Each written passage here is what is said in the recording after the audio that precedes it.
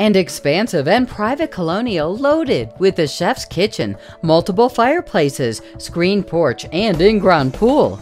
To see it yourself, schedule a tour with Rachel Bodner.